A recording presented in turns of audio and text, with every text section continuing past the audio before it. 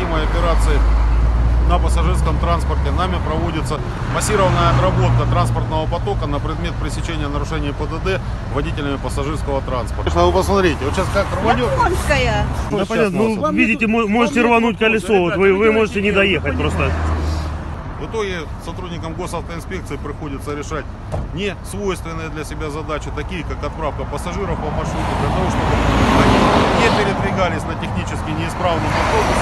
и не подвергать их жизни, здоровью и опасности. Установлен рейсовый автобус, двигающийся по маршруту Георгиевск, Краснодар.